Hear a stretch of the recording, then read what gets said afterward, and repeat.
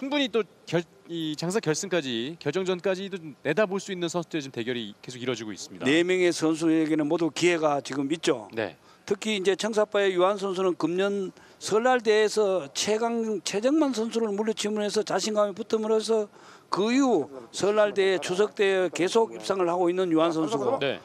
홍사파의 이민선 선수는 항상 우승권에 근접해 있었던 선수입니다. 특히 뭐 스피드나 유연성은 최고인 선수인데 다소 부족하다면은 근력이 받쳐주지를 못한다. 네. 그러나 반면에 또 유연성과 이 스피드는 굉장히 뛰어난 선수로 평가되고 있습니다. 그리고 이번 대회 컨디션도 좋고 부상도 없었고 하기 때문에 또 오늘 승운도 뭐 현재 대진 운으로 봤을 때는 아주 좋지 않습니까? 네. 한번 기대해 봐도라고 했으니까 한번 기대 기대해 보겠습니다. 두 선수가 모두 이제 올해 입상한 8강 안으로 진입한 대회들이 다 메이저 대회거든요. 어제도 이제 설명을 드렸습니다만 이 설날 추석 단오 대회는 이제 메이저 대회, 민속 대회라고 할 수 있고 이, 이 지금 펼쳐지고 있는 민속 씨름 리그는 리그 대회입니다. 그렇죠. 메이저 대회는 대회 스- 상금도 배의 상금이 주어지는 큰 대회이기 네. 때문에 선수들이 거기에 저뭐 치중하는 면도 있습니다만 이제는 일단 민속 리그에 집중을 해야 됩니다. 네, 지금 3차 대회가 이곳 평창 진부면에서 펼쳐지고 있고요. 평창 평화장사 씨름 대회는 민속 씨름 리그 3차 대회 겸하고 있습니다. 자, 같이 낮춰. 자, 8강 마지막 경기 첫판 바다리 시도. 자 그러나 방어해냅니다. 자 매직이 들어갈까요? 호미거리. 자 들었습니다. 이민섭 그리고 다시 한번 바다리. 첫판 이민섭입니다. 자, 뭐 두 선수도 자신감이 붙었어요. 계속 뭐 호미거리, 밭다리, 잡채기, 들배지기를 사용하다가 네. 마지막 또 이민섭 선수가 어, 잡채기 저, 호미거리에 이은 또 잡채기로 중심을 무너뜨리지 않았습니까? 네. 188cm의 큰 신장을 가지고 있는 이민섭 선수 다리 기술을 많이 활용해 봤습니다. 자, 밭다리, 호미거리, 또 배지기, 또 호미거리, 또 밭다리 뭐 화려한 다리 기술인데요.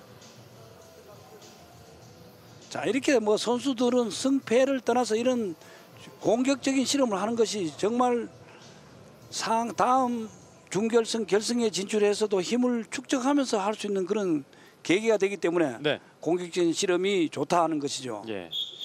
두 선수는 이제 이번 대회 8강을 통해서 처음으로 만나게 된 경기입니다. 자 민속 무대에 들어와서 민속 유한 선수는 5년 차를 맞이하고 있고 이민섭 선수는 11년 차를 맞이하고 있습니다만 두 선수 간에 그동안 뭐 네. 입상 선적이 사실 없기 때문에 네. 이제 금년에 들어와서 입상을 했기 때문에 붙을 수 있는 기회가 없었어요. 예. 처음 붙는데 이제 오늘 1승을 누가 먼저 가져가느냐도 또 개인 간의 자존심 간의 대결이 되겠습니다. 앞서 제주 특별자치도청의 박희연 감독이고요. 창원시청의 이윤진 감독의 모습입니다. 자, 첫 판을 창원시청의 이민섭 선수가 가져갔는데요. 어, 지금 신체 조건이 상당히 좋습니다. 신장이 188cm의 신장, 95kg입니다. 자, 좋은 신장을 갖고 있기 때문에 특히 이민선 선수는 발기술에 능하다. 네. 그것도 특히 밭다리를 주특기로 하면서 호미거리, 안다리를 다 능히 사용할 줄 아는 선수가 또 이민선 선수입니다. 예. 자, 일어선. 자, 그대로서 홍, 자세, 낮춰. 유환 선수와 이민섭 선수의 8강 마지막 경기. 자, 스몬 경과 이제. 자, 그대로 준비. 두 번째 판입니다. 홍, 앉아봐. 그대로 있어. 자, 홍 경고 자세 지집으로. 선수 뒤로 나와. 자세 불이행으로. 조대현 주심이 이민섭 선수에게 경고를 하나 줬습니다. 자, 빨리 자세를 잡으라고 했는데 자세를 잡지 않았죠. 네.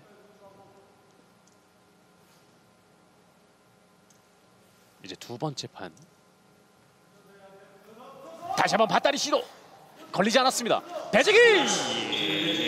유한의 두 번째 판이 되면서 1대1입니다. 자, 역시 유한 선수도 실험하는 모습을 보니까 정말 자신감이 붙었어요. 네. 금년도 설날에 최강 최정만을 한번 이기고 난 이후부터는 실험이 본인의 정말 고등학교 전성기 부평고등학교를 우승시켰던 그 멤버 중에 멤버거든요. 네. 어, 이번엔 밭다리 잘 피한 이후에 배지기로 마무리 짓는 모습이었었는데요. 아, 이 유한 선수도 183cm의 작지 않은 신장인데 더 큰 이민섭을 상대로 배지기로 두 번째 판을 만회했습니다. 1대1입니다. 자 이민섭 선수가 항상 안타까운 것이 지금도 마찬가지 힘의 대결에서는 지금 상대한테 당할지 못해요. 네. 모든 다른 근육은 근력은 발달되었으나 힘이 실험에서 가장 중요한 파워가 지금 딸리기 때문에 기술이 지금 잘 바로 첫 기술에서 먹혀들고 아하. 있지 않는 겁니다. 그렇군요. 결국 세 번째 반까지 오게 됐습니다. 어, 앞서 유한 선수 얘기해 주시면서 설날 대회였었죠. 최정만을 이기면서 자신감을 얻었다라는 얘기를 했는데 그만큼 이 최강자를 꺾었을 때 선수들이 또 기량 면에서 자신감 이런 마인드 쪽에서 올라가는 이 향상되는 어, 경기력이 좀 참 정말 돋보이고 많이 있는 것 같습니다. 그렇죠. 민속 무대에 와서 4년 동안 한 번도 입상하지를 못했거든요. 예. 자 어린 낭자의 모습이 오늘 자꾸 잡혀지네요. 이, 이 노범수 선수도 이제 윤필재를 꺾었기 때문에 더 아마 성장하지 않았, 않았을까라는 생각이 들어요. 아, 또 자신감도 붙었고 대한민국 실험을 위해서 내가 뭔가를 보여주겠다는 네. 이런 또 모습도 저희들한테 보여주지 않았습니까? 예. 자, 같이 해물세요. 평창 이 진부면의 하늘에 별이 하나 떴습니다. 어제 이 노범수라는 별이 떴는데 쓰면 안 돼. 쓰면 아. 앞으로 또 행보가 더 기대가 되고 있습니다. 그렇죠. 뭐 루키라고 이야기를 했는데 이제 네. 뭐 어린 왕자까지 했기 때문에 이제 네. 실험판에 완전히 어, 뭐 사실 태백급에는 금년도 윤필재 장사를 당할 선수가 잘 없지 않았지 않습니까? 그렇습니다. 금강급을 좀 유심히 지켜보고 있는데 이제 금강급을 다시 노리고 있어요. 자, 뭐 다음 오히려 민속 4차, 5차에 가서 건강급에 출전할지도 몰라요. 예. 1대1입니다. 준결승 진출자가 가려지는 마지막 8강 경기입니다. 자, 한번 말하자면 경고야. 유환과 이민섭 승리한다면 부산 갈매기 정석진 선수와 준결승을 갔습니다.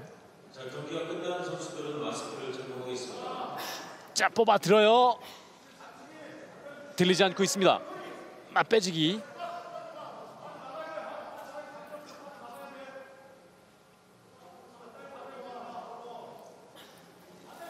자 그리고 덧거리 이민섭의 덧거리 성공 2대 1로 장원시청의 이민섭 선수가 준결승에 올라갑니다.